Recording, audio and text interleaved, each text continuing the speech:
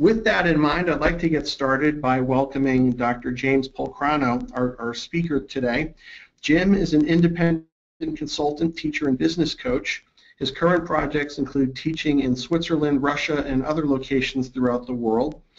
Uh, work, has a research project on how corporations and universities use media rankings of executive education, today's topic, various strategy, networking, customer centricity, and innovation mandates with multinationals in Europe as well. He's worked with um, clients such as Caterpillar, Monsanto, and the International Committee for, of the Red Cross. Um, Jim formerly uh, has uh, been very involved with Unicon as the former chairman of Unicon uh, and formerly worked with the management team at IMD. We're delighted that Jim is leading today's session and also wanted to let you know that another author of the research paper, Jenny Stine, is also joining us today and will be um, involved with the questions and answers throughout the program as well. Jenny is an expert in executive education and professional development programs across multiple sectors, including management, leadership development, education, and engineering. She has an outstanding track record in innovative program development, strategy, and university industry partnerships. Jenny previously worked uh, at MIT in professional education and also at Harvard in professional education. So with that, Jim, I'll turn it over to you, and we uh, look forward to today's pro program. Thank you. Okay. Thank you very much, Rob. And thank you to everybody who's out there listening and watching right now. Uh, this, this report that Jenny I and uh, Tom Cavers did became a labor of love. And so what you're going to see is we're going to do an overview here today of our, our research, but there's a lot there. You know, I'll go through the presentation, but I, I encourage you to read the report, go look at the infographic on the website, etc., because there's a lot to be learned here. Now I'm going to turn off my uh, webcam so that we don't have any problems with uh, bandwidth. So just to get us started here, you know, this is what we're going to try and cover. You know, just go through a few things. Jenny may jump in occasionally to make sure that I'm honest and I keep this uh, clear for everybody. But a few preparatory remarks. First of all, this was sponsored by Unicon, but it was an independent research project that came from us. I mean, so anything that we've said here it's, it's our opinion, not Unicon's. Also, as many of you know, the FT was sold to, to Nikkei in Japan just before we finished the report. We don't know what that's going to mean for the future of the executive education rankings. Uh, maybe nothing, maybe nothing at all, but we don't know. And also something that happened in early 2015 was Business Week decided to drop its biannual executive education and EMBA rankings, which makes the FT the only active executive education ranking out there today. So even more important for us. the broadcast is now starting. All attendees are in listen-only mode. Good. Okay. Um, so we went into this with the idea that there had to be, we wanted to take a 360 view of the FT rankings and say, what would we learn if we did that? Now, the first part of it about how the FT rankings work, that was covered by Tom in the in the previous webinar. But we wanted then to look at, and what we'll cover today is, what do the rankings say about quality? Do customers actually use it? How do business schools use it and perceive it? And what do the experts, so ranking experts, have to say about the rankings? Um, research methodology we, we think was fairly rigorous. We went through market surveys and interviews. Over 700 open program participants were surveyed and several were interviewed. And then quite a few learning and development professionals were surveyed and interviewed, predominantly European, uh, and that is one of the weaknesses of our, of our research. We also talked to the schools and various experts, so 94 different schools were surveyed, majority from Unicon, plus several EQUIS schools, and then 14 different experts were interviewed.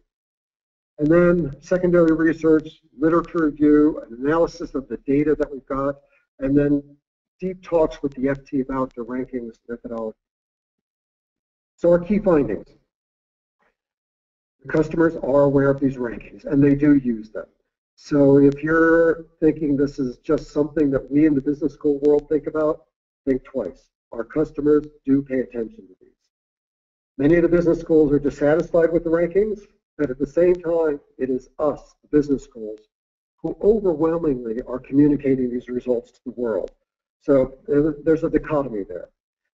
The experts we talked to and the research team itself felt that the rankings as they are today are not measures of quality. And they may even fail to capture you know, the, the innovations that are happening out there, even stifle it because of the fear of dropping in the rankings if you do something innovative. But they can be useful.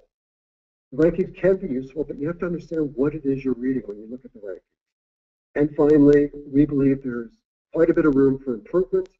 And if we're going to do this, ideally it wouldn't be the FT alone, it'd be us, business schools, customers working together with the FT to improve it. So our high-level recommendations, and there's much, much more detail later on that you can look at and in the report. But if we look at the business schools, respect the value of the rankings that your as your customers see them. And your customers value these, at least many of them do, so you have to respect that. Secondly, use the information that's in this report to figure out what is the best or the most effective way for you as a school to participate in the rankings and have some respect for the effort that the FT puts into it.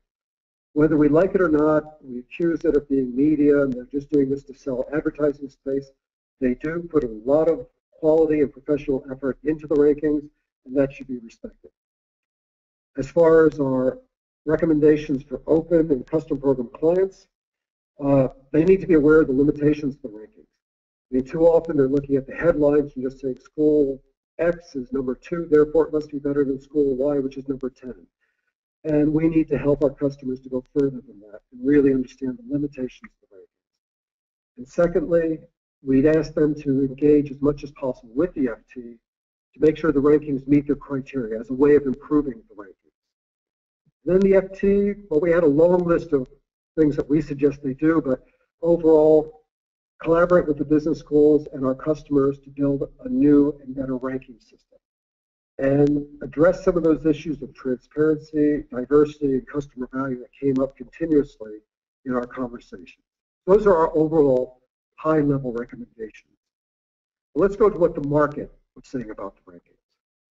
So the vast majority of the people that we talked to and surveyed on the open program side and on the custom program side, they're aware of the rankings well aware of the rankings.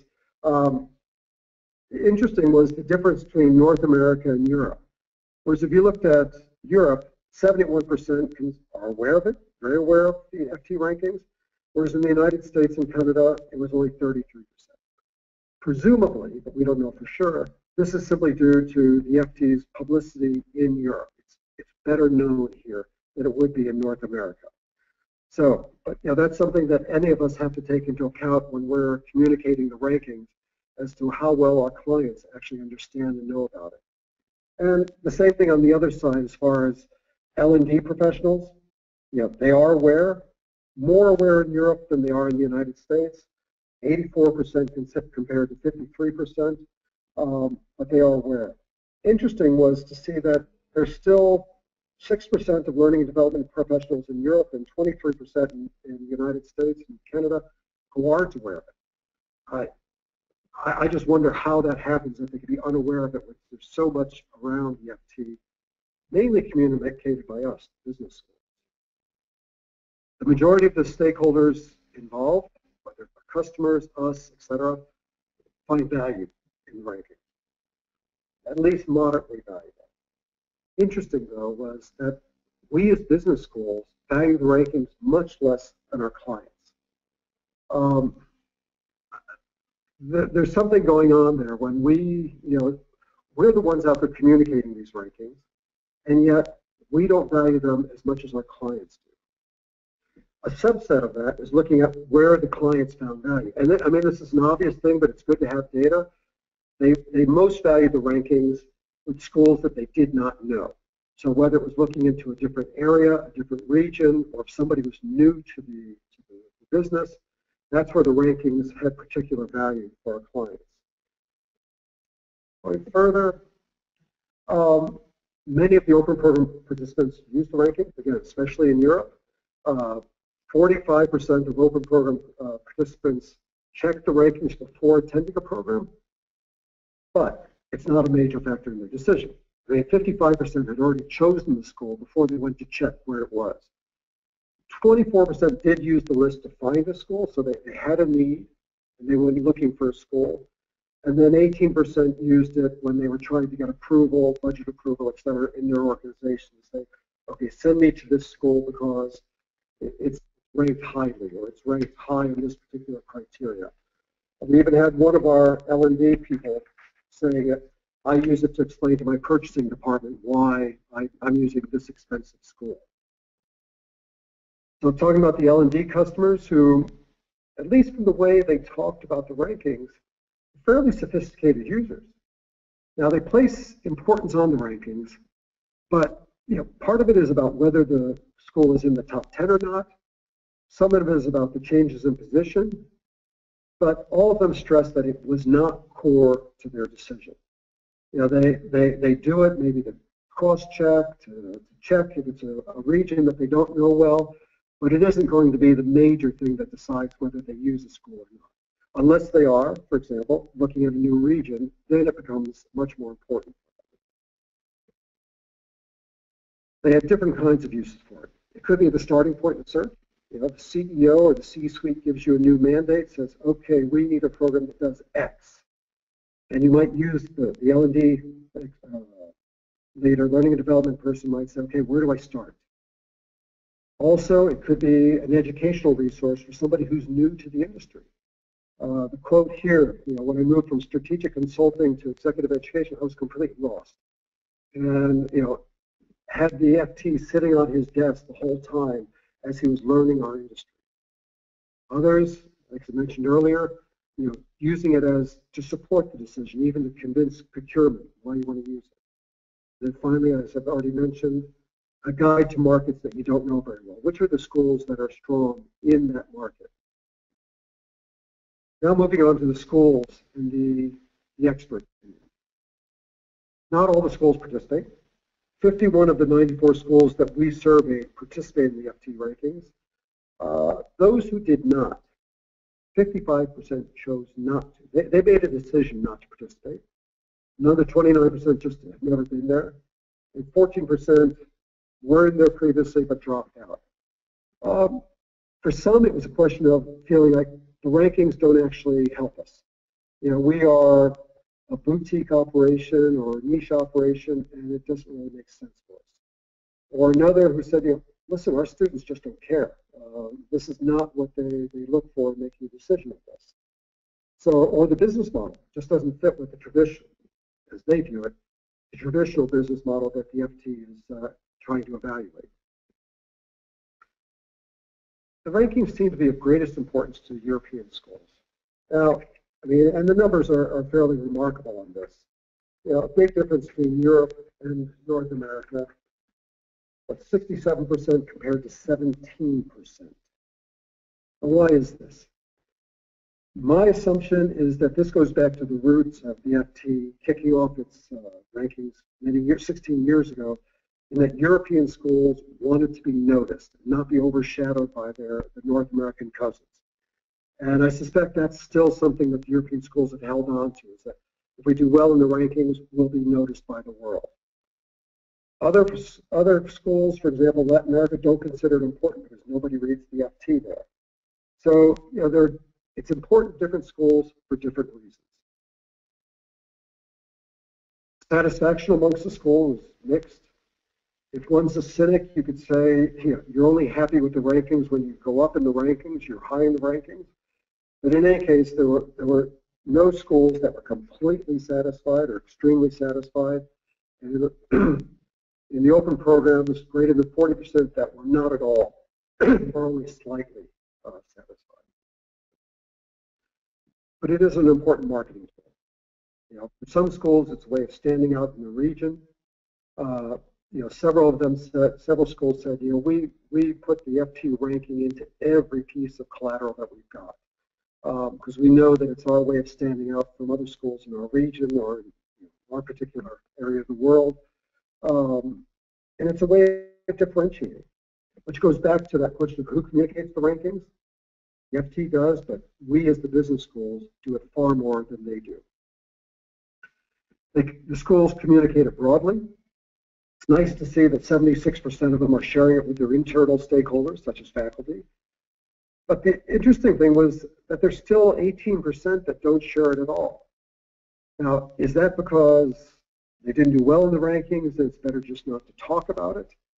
But in any case, you know, it's, it's up to us to figure out what's the best way to use the rankings, wherever it is we are in the rankings. There are different views on how much position makes, you know, how important it is. For some, it was probably just a question of if you're in the top 10, that's great. Um, but we found some schools saying that they chose not to participate because, you know, if you're not in the top 20, that looks bad. So better not to take that risk. But for other schools, you know, just being in the rankings at all is a chance to say, we are in the rankings, thus, we're world class. So for some, and I guess it depends on where you are, are you a top tier school where going from being number six to number eight is a disaster, or are you another school that says, hey, listen, you know, we're the top 100 in the world, and that is already something really valuable. Now, this is something that we debated a lot in the in the research team about whether the rankings actually show quality.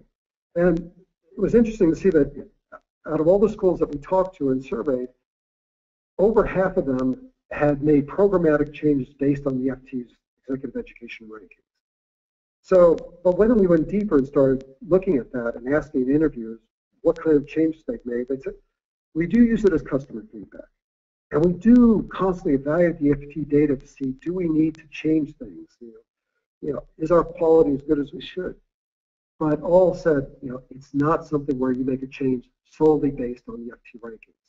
It's, it's one piece of data to help you decide if you need to make some changes. Some data points on, on the school's process, and I think the one of the most important ones for me is the amount of time that schools put into this.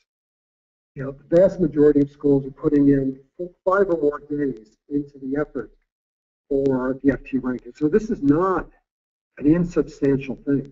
If you're going to participate seriously in the rankings, it's going to take time.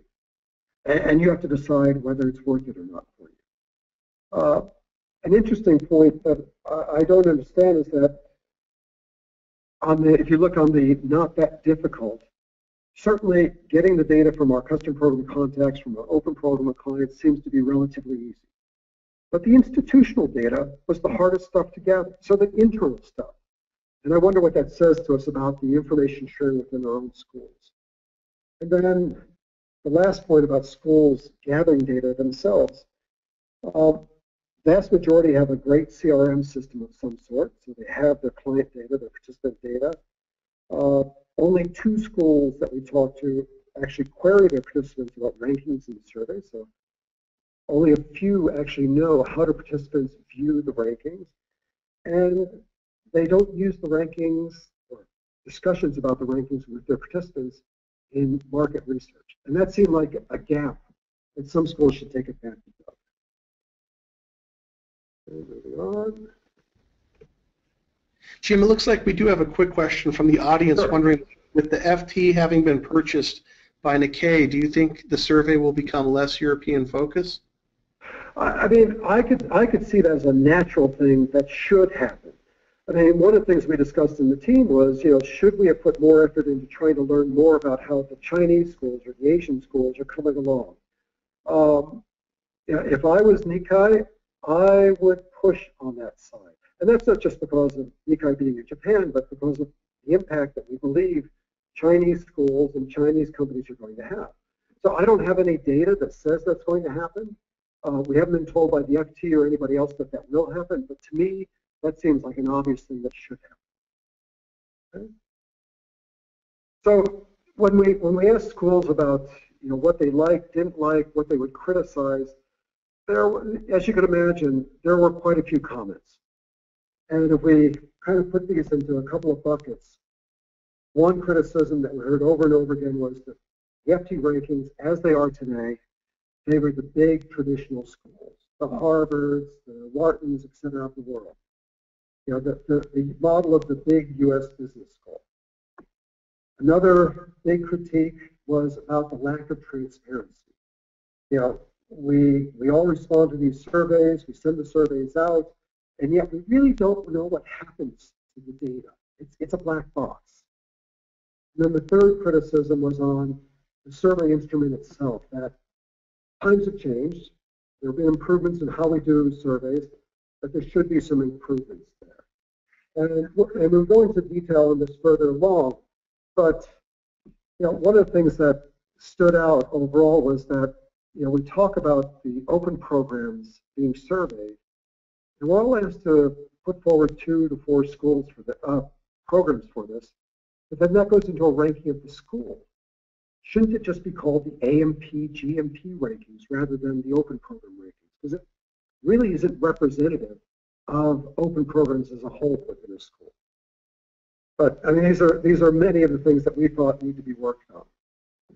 There were a lot of ideas coming from the schools about how to update the rankings as well. You know, perhaps we should have rankings within various areas, strategy, leadership, innovation, Make the scaling simpler. And perhaps, you know, rather than having a one through whatever, 100 ranking, put schools into bands. Because we know the statistical difference between a school that's, you know, fourth and a school that's eighth is insignificant. So put people, schools top tier, middle schools, etc. But try to make it so that it is something statistically different. And maybe have some rankings so we can compare similar programs. So we know that we're comparing apples to apples and not apples to The ranking experts that we talked to had quite a few concerns, and they seem to mirror the concerns that we and the schools had. So that question about whether this is really a quality metric or not, it's a reputation metric. So, you know, there's, there's nothing wrong with a reputation metric, but our customers need to understand that that's what they're looking at. Secondly, this question of transparency. You know, it is. We, as researchers, could not even see the survey instrument. The FT keeps that secret. Why, we're not 100% sure, but it would seem in this day and age of open source everything, that this should be something out there. And then the third question was on whether the rankings are actually stifling innovation in our industry. Because, you know, if you're doing well in rankings, do you really want to take the risk of introducing a huge innovation into one of the programs that's going to be ranked afterwards?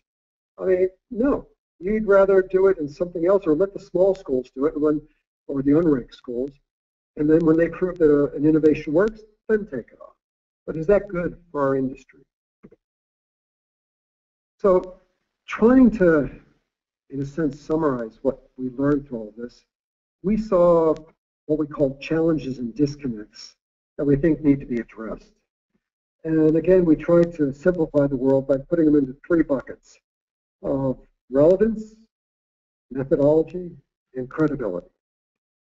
So, could we somehow improve the rankings so they have greater and wider relevance within our industry? you know, the rankings were created back in 98, 99, and a lot has happened since then. For those of us who have been in the industry for that long, we know that our industry has changed. And so it's a very, I think, relevant question to ask, how should the, the rankings, criteria, methodology, et cetera, change to keep up with that? Secondly, are the longer programs, longer here I'm saying more than three days, is that the right thing for the FT to be measuring? when they're trying to figure out the quality of school. Many of us back in the late 90s still had long programs, 10 weeks, 8 weeks, 6 weeks. Very few of us have those today. And shorter courses are becoming the major, major, trend. That's what's being asked for by our clients. And yet we're still measuring programs and insisting that they're longer as far as the measurement. The question about whether there's too much bias to international schools. Now, to be fair to the FT, they've said since the very beginning that this is an international ranking. So, you know, it's not their fault that, you know, there's this bias towards international schools. But maybe there's room for national rankings or regional rankings that would help domestic or national companies or clients choose a better school to suit them rather than always looking up to the big international schools, which may or may not fulfill their needs. and the question about whether some smaller schools are being kept out or some new schools are being kept out because of the requirement of accreditation, and the $2 million cutoff as far as revenues. You know, should there be some more flexibility on this to allow new schools in, especially new schools perhaps coming from Asia? The methodology itself, there were quite a few comments and criticism of this, uh, the so-called bullwhip effect. And, and, I'm sure that anybody who's observed the rankings over the years has seen this. You know, school that was, I don't know, number eight one year is suddenly, suddenly number 16. Or school that was 33 is now 14. Is that really possible? Mean, we know that as much as we want to make change happen in our schools, we don't change that quickly over one year. So there's something going on here that's not quite right. And we need to help the FT and work with the FT to find a stronger methodology to avoid this. Such as, you know, the question of the 10-point scale. You think about it, you're asking open program participants to qualify the school that they just went to, that they now carry that brand. And you give them a 10-point scale. And for the most part, they're going to grade it 8, 9, or 10. So it's actually a three-point scale. So not really as rigorous as we'd like as far as finding you know, value in the rankings. On the weighting side, especially for custom programs, maybe we need to be asking the companies what they consider to be important before assigning weightings. Or maybe make the rankings a dynamic vehicle where you know, somebody who wants to can assign the weighting that they think is important online to find out which uh, ranking makes sense. And then the sampling question. I mean, it would be great if we were, if the FT was able to get more custom program uh, data, but there are issues in getting uh, customers to respond, participants to respond, and the question about the open programs that are surveyed. I mentioned this earlier. Um, this does bias things. And what about credibility? Why doesn't the FT share more information with us? You know, uh, they may have very good reasons for it, but because it's not shared, it causes a question of um, credibility. The questions that are asked in the surveys, uh, sometimes they're ambiguous. And you know that isn't helpful when you're trying to uh, hope that the answers that you're seeing are relevant. Then the question came up about whether the FT can remain objective. On one side, this has been an ongoing issue simply because the FT is about selling more newspapers, selling more advertising space. But if you add to that the, the FT IE hookup that was announced late last year, there's questions about whether the FT itself is the, the honest broker nowadays. And then the last point that was often raised is, why aren't there any audits of the data? The FT does audit on a regular basis schools on the FT rankings, why not do it on the executive education rankings? So some detailed recommendations to close this out. Um, and this, we've broken this up into two parts. One is assuming the rankings stay the same, that there's not going to be major changes in it. And first talking about the schools. First thing we'd say is, first of all, decide as a school, what is our strategy for the executive education rankings? You know, do we want to participate and is it important? If it is, align your ranking strategy and tactics with the school's overall strategy. This is not some little thing to have on the side. Take it seriously, be proactive about it, put somebody in charge. If you don't have somebody in charge, it's not going to be done well. Figure out which of the open programs you want to have surveyed. I know this sounds like you're gaming the system, but you are gaming the system and everybody's doing it, so do it well. Use your net promoter score or whatever data you've got to know which, which programs are going to do well in the open program rankings and put those forward. If you want to make major innovations and you're worried about your ranking because you're, you're high up there and you like where you are, our suggestion is that you do the innovation outside the survey programs and wait until they've proven themselves before you introduce those into the survey program. When you're talking with your participants, be explicit about what you offer as far as criteria so they recognize it when they see the survey. This is normal customer relationship management. They pay attention to your learning and development counterpart and her needs so that, because that counts a lot when it comes time for them to survey you. This is not something that's going to change overnight. Even though I just talked a few seconds ago about the bullwhip effect, don't assume that doing something today will see an immediate result in the, the FT ranking. And then if, after all this discussion, you say, nope, we're going to opt out. We don't want to be part of the rankings anymore, which is fine. That is a choice. But then recognize you're going to have to find other ways to generate awareness with your target clients. And last, please share whatever metrics you're using with the FT. You know, how can they improve this if they don't know what we see as quality metrics? And encourage your clients to do the same. Recommendations that I'd hope you would make to your open and custom program clients, again, assuming the rankings stay the same, tell them they have to have a strategy for how to use the rankings. That they need to develop the criteria that are important to them. You know, try to encourage them to go beyond just looking at, you know, the overall number. Ah, they're number three. They must be great. Whereas maybe the criteria that are important to them, you know, that school is number 76. You know, so encourage your clients to do this, to, to have a strategy and to look at the, the criteria, you know, not that final column, but the criteria that are important to them. Also, don't assume a halo effect between the rankings. Just because a school did very, very well in the MBA rankings does not necessarily mean it's going to do well in open and custom and vice versa. Accreditation is required by the FT, but you know, every, every company or every participant has to decide how accreditation is important to them. Is it important to them? Because remember, accreditation is given to the school for degree granting. It is not a part of executive education. Executive education, in a grandfathered in if a school is accredited for its MBA program. And again, I would encourage you to say to your clients, to your participants, encourage them to share what they want with the FT. And as you can see here, we've got quite a few recommendations for the FT. Um, I'm not going to go through all of these, but again, just to highlight the, the main things, modernize the, the, the rankings. A lot has changed over the last 16 years, both in our industry and in our understanding of how to do ranking, so incorporate that. On the methodology, you know, there are quite a few things that you can do to improve the methodology to make it much more rigorous for the FT, and then on the transparency side as well. You know, a lot of us look up to and respect what the FT does. Uh, I certainly do, and so, so do my colleagues in the team.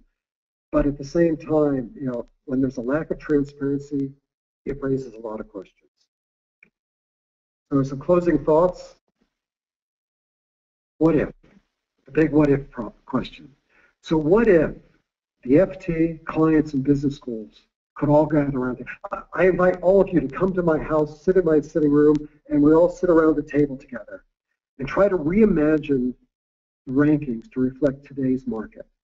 What kind of ideas do you think would bubble up? Some of the ones that came to us would be, you know, what if the rankings were open source? Yeah. This is the way the world's moving. Why not make the rankings open source?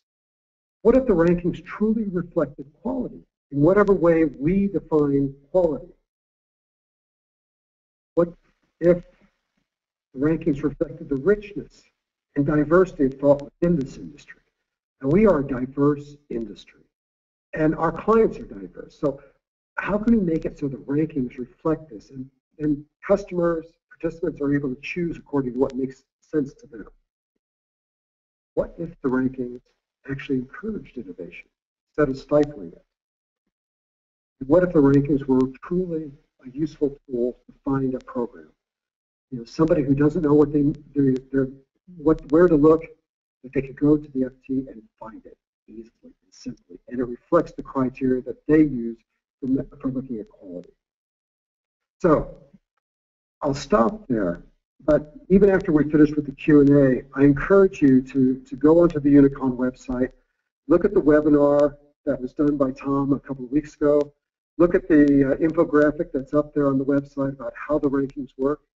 We've also put copies of all the ranking magazines from the FT since its inception on the website, and then the data is all up there as well. And I also encourage you just even if you're not going to read the entire report, look at the annotated bibliography that's at the end. Jenny did this, and it is a work of art. And it'll really help you understand everything that's behind the rankings. So I will stop right there. Questions? Jim, thank you so much. And before we get into the questions, I do want to remind participants that the infographic um, is also available here on your on your toolbar. You'll see that there's a handout, and you can download um, the infographic that was available, as you mentioned, on the website and on the last webinar as well. Okay. So do we have any questions, Rob? Yes, it looks like we do have some coming in. Uh, one question. I understand the point about accreditation, but the AMBA and EQUIS processes both cover exec ed, and we were included in the documentation and meetings. Perhaps this needs to be made more evident. Uh, yeah, I mean, more evident, but, you know, is there actually, um, when you look at the accreditation, I mean, they're accrediting a school. They're not accrediting a particular program. And so, and, so that's the issue is when your customer looks at it and says, oh, you're accredited, do they understand that that's the school that's being accredited or do they really believe that that says your AMP or whatever program is what's accredited? So it's really just a question of understanding what it is that's being qualified by that accreditation. I'm not saying that accreditation isn't important or isn't useful, but I think our clients need to understand what accreditation means. Jim, can I jump in on that? Sure. You, um, so I'll put my webcam on too. So, so I think it's also kind of a meta question, which is accreditation an important metric at all for executive ed? Because you know one of the things that's actually to the business to the traditional business schools benefits for the Financial Times rankings is there are all sorts of organizations that are not included in the rankings that are really active working with uh, corporations in terms of leadership development. So it's not just the unaccredited schools, but it's all types of consulting and professional mm. organizations. And so accreditation really serves more as a screening tool than a quality metric in that mm -hmm. sense because th these other organizations don't have it. So it, it's it's an interesting metric for that reason. Um, it, it is to everyone's advantage, but it's not necessarily the quality metric. And from our surveys of customers, they didn't really know or care, right? right? But we care, so I, I don't know if that's helpful. Hey, Rob, next question. Yep. Um, what evidence is there that rankings prevent innovation? Ah. That's a good one. Well, this is something that you know probably you're not going to find on the front page of the FT, but we heard it in quite a few of the interviews of just saying, listen, why would I innovate? Because when you innovate, okay, you're trying something new and you don't know if it's going to work. Why would I take that risk with something that might fail? And then afterwards, that finds its way into the rankings as far as participants downgrading us. So that actually came out of uh, uh, just uh, interviews with business schools and with experts. Yeah, I think uh, you know it's there's there's a unfortunate push-pull, and it's exactly what Jim said about, you know, our recommendation with the rankings as they are is you need to go out and optimize the stuff that the FT measures and let that be your ranking. But if that's not where you want to put your resources or your focus, then the schools are in this unfortunate position of having to put more resources into things that are less important to them than things they could be building for the future that are not part of the FT measurements. So there's definitely a disconnect, and, and we really got after the FT for the fact that they have left this ranking the same for so many years. I mean, they they like this idea of comparable data and they use it for, you know, a little it's a little challenging how they use it. This bullwhip effect is real, and if you read the descriptions, there's always that paragraph of, and guess who moved the most, you know? And so it, it, it could be more customer-centric and more customer-friendly focused, I think. Yeah. Great. We've got another question. Uh, we've heard that all not applicable responses responses on the survey are counted as zero in terms of the numerical analysis. Is this correct? Hmm. I don't know. That's the first time I've heard that. No idea. Uh, no idea. Uh, that's I had not heard that and never came up in any of our other discussions. Um, I can't imagine they do that. That would be in, that that would be unfair. Yeah, yeah. It, it, I don't think I, I. Okay, we have no data to back this up, but from our discussions with the FT, I'd be surprised if they did something that I would view as unprofessional. Yeah. Great, thank you. Another question, is it likely anyone other than FT will jump into the rankings business in the coming years, or will FT continue to own this market?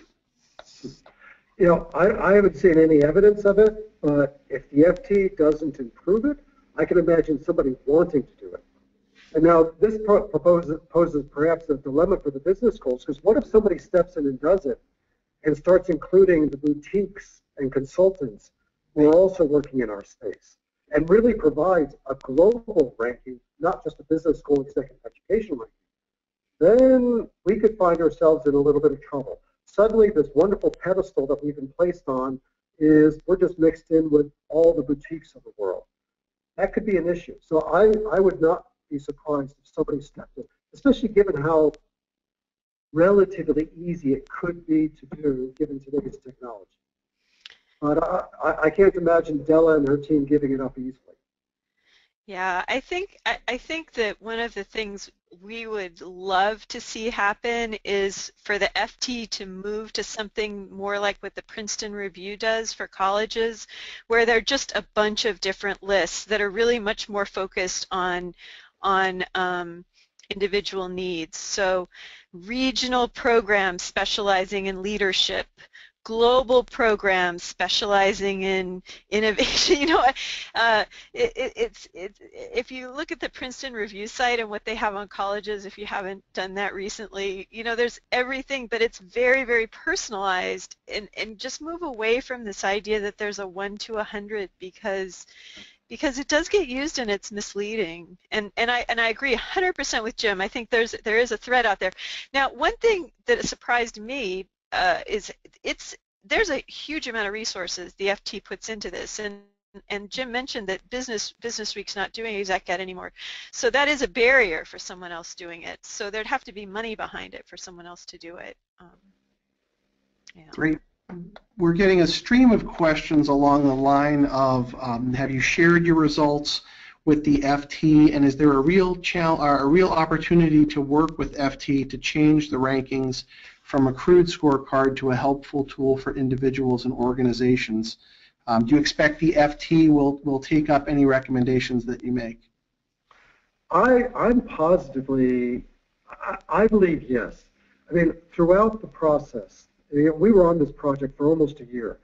The FT, Della, and Laura were amazingly open with us. I never once felt like they were pushing back and telling us to stay out of their business. It was it was actually the opposite. And we did share the results with uh, with Della and Laura before you know publishing it. Um, they didn't come back and criticize anything we said. I mean, thanked us for it, thanked us for a couple of the comments on it. But you got to remember, this all happened right at the moment that Nikkei bought the FT. Mm-hmm. So we all know what it's like when one of our clients gets taken over. Uh, a lot of things get lost during that time. So I don't expect Della to change anything immediately. Uh, you know, the next rankings will be coming out what in February. I would I'd be surprised if changes were made by then. And honestly, that wouldn't be a good sign if they did, because that means they haven't collaborated with us to make the kind of changes that we think are, are needed. But, but let me say too that there might be a Unicon committee or a subset of Unicon schools with a high interest in this area that not, you know, you can use this report now or some of the recommendations as a basis to reach out to the FT and think about how you can provide them with some resources and support and, you know, initiate that type of collaboration. I mean, don't just wait passively for them to fix everything and because, because I think one of the things, one of the key excitements about this, this, this Unicon initiative was the, the FT spends an enormous amount of time talking to individual schools. So Della estimates one day a week. One of five, so 20% of their time is having one conversation and one conversation and one conversation, and they don't have any way to have collective conversations with the schools either. So if, you know, if, if the schools can think about here, we want you to test a new instrument or a new ranking and we'll support you. Think, think about what you can do to help, you know, help them make some of the changes you'd like to see and approach them. Because, I mean, Jim had mo the most contact, but absolutely our impression was, was that they're very, they're very open to things that will support the industry. They care about the exec ed industry and Della is a leader in the industry and, and, and they're interested in doing things that move that forward. So. Great. And then a follow-up question, do we know why uh, Business Week exited from the rankings? I don't think we, I, I, I think we tried to find out, even going through some back channels, but never really understood why. Uh, you know, is it because they just decided the FT does a better job, let them have it? It's too much work. Um, I don't know why. Yeah, I don't Um, think we Jenny, know. do you have any insights? No? No, I don't think we found out. Mm-mm. And another question, Jim, I think you just touched on this, um, but does, let me see. Uh, would you anticipate any changes to the methodology for the upcoming reporting cycle? If so, what will the changes be? And I think you just alluded to the fact that the timing for February is probably a little too quick. Yeah, and the change that we'd heard about is that they've been considering like one question or two questions on innovation. We think the changes need to be much more fundamental than that, and that's where I'm saying like, you know, if a group of schools that was sort of representative of the industry with different tiers and different backgrounds could get together and take this report and say, here are the five things we really like and can we work with you, FT, to figure out how to build this into your process going forward? Try it. I mean, all they can say is no, but that would be a really collaborative way to reach out to them. Right. Great. And we have another question. How does FT determine with which schools they will speak? They are open to speaking with everybody. So they do keep their own list and try to keep track of our industry as to who are the players. But they're also open to, you know, somebody approaches them and says, hey, I'm the new, new kid on the block, and then I think I qualify for the rankings, you know, let me in. They will let you in. So if you're not in and you want to be, just tell them that you want to be part of it. And as long as you fulfill their criteria, which are published, we actually have them, I think, in our report, um, you can be in. Uh, Yeah. that- that's, that's up to us to, to push forward if we're not included. Yeah, one of the one of the key ways to get included is to ask them. Great. Any other questions from the audience at all? If, if so, now's your time to submit via the question panel. We'll give it just another minute here. One of the things I'll add while we're waiting for questions, and and I heard this from quite a few people now who have read the report, is that if you've got somebody new in your organization who hasn't been in executive education before, even if they come from the MBA side, give them this report to use to try and understand our industry. Not just because they need to understand how the rankings work, but the drivers of our industry are reflected in the things we like and dislike about the FT rankings. So if they read this, they'll have a much better understanding of our ranking. You know, even one of the members of the, the research committee from Unicon said, I wish I'd had this when I joined the industry. It would have made life so much easier for me. I might not have liked everything I saw, but I would have understood it better. So this report can be used for that as well as a primer for somebody entering the industry. Excellent. And I'm, I'm not seeing any additional questions, so I think that will probably um, wrap up our program for today. Jim, I- I'd like to thank you very much for delivering a very insightful um, presentation this morning. Jenny, also wonderful to have your participation, especially in the Q&A. And just lastly, a quick note of thanks to both of you as well as Tom for all your hard work in, in uh, gathering your information and, and compiling this research and giving us this great report that we have to work with. Um, as I mentioned at the beginning, this webinar and uh, all the supporting materials from both this webinar, the research paper, and the past webinar will all be available on the Unicon website. So I encourage members to access that information um, and, and really use this to help kind of guide your actions in, in your work. Um, with that, again, thank you both, Jim and Jenny. Uh, it's been a pleasure to have you, and we hope that everybody enjoyed today's session. Okay, thank you very much, everybody.